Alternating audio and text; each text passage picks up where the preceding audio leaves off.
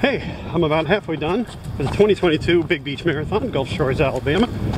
I say about halfway because there was no uh, marker for the uh, cyclist.